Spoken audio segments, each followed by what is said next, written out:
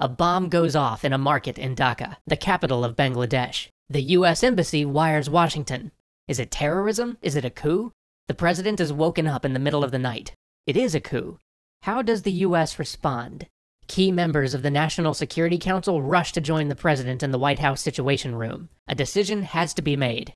Respond too firmly, and it might endanger the US lives on the ground there. Respond too weakly, and it'll affect our position around the globe, not to mention hurt our stance in talks with the new government. Discussion flies back and forth around the room, but a decision has to be made quickly.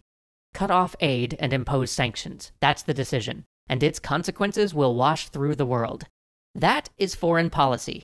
The consequences of this decision could lead a lot of ways. It could destabilize the region, leading to war or to new harbors for terrorists. Or it could help bring order to the region, prevent further violence, and lead back toward a more democratic government for the people of Bangladesh.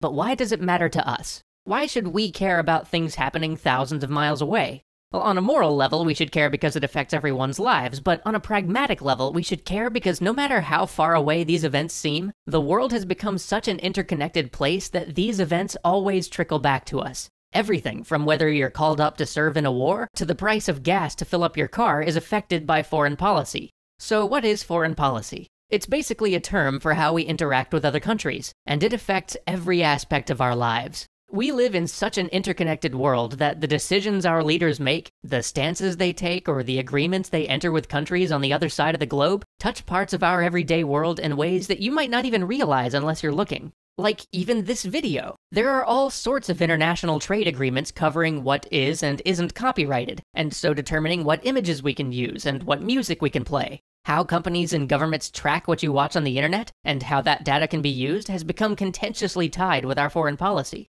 how quickly this video streams, and whether companies can restrict your bandwidth based on content is not just a matter of hot debate in the US. The viewpoints of certain US trade interests on the issue have started to crop up in treaties abroad. Heck, there are even countries where you simply couldn't access this video because of their current relations with the US. And that coup scenario that I outlined before? Well, let's take the most banal, amoral event that would roll out of it. The price of shirts would rise. Why? Because Bangladesh is a major exporter of textiles to the US. We get a lot of our clothes from them. If we were to put sanctions on Bangladesh, all of a sudden we'd have to find a new, more expensive source for those clothes, and that cost would end up getting passed on to you, the buyer, hence more expensive shirts. And it all works like this. Foreign policy is all this complex web of goals and consequences that ranges from the far reaching to the very local.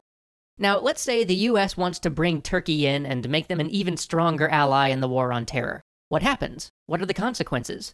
Well, first, US diplomats might have to lean on members of the EU to let Turkey into the European Union. But this would mean that the US would have to do something for the various countries that have been blocking Turkey's acceptance into the EU for years. Perhaps they'd have to let Germany into the US UK non spying pact so that there'd be no more wiretapping of the Chancellor's calls. But once that's done and Turkey enters the EU, what happens then?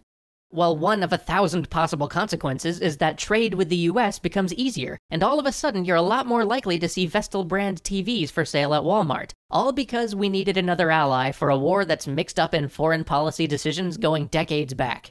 And that's what's fascinating about foreign policy. Untangling this intricate web, trying to decipher why things are happening and what's really going on, it's a mystery of the highest order, with some of the clues out in the open, some buried only for those who dig, and some that only become clear to those astute enough to make inferences from what they observe going on in the world around them.